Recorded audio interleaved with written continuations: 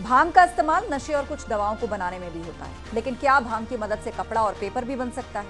संभल के रहने वाले आयुष सिंह ने ये कर दिखाया है।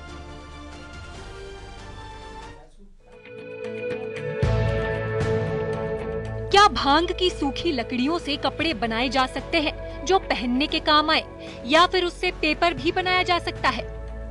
संभल के रहने वाले आयुष सिंह ऐसा करने का दावा कर रहे हैं और उन्होंने इससे तैयार किए गए कपड़े और पेपर भी दिखाए।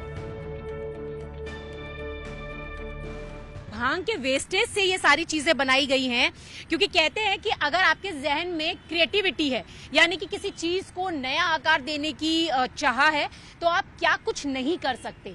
कुछ ऐसा ही संभल के रहने वाले आयुष सिंह ने कर दिखाया है, जिन्होंने भाँग के वेस्टेज से ये कपड़ा बनाया है, और कपड़ा काफ़ी ज़्यादा सॉफ्ट है, देख भी सकते हैं ऑर्गेनिक कलर का इस्तेमाल किया गया है, और ये वो धागा है जो वेस्टेज से भाँग के वेस्टेज से बनाया गया है और पेपर भी यहाँ पर आप देखेंगे।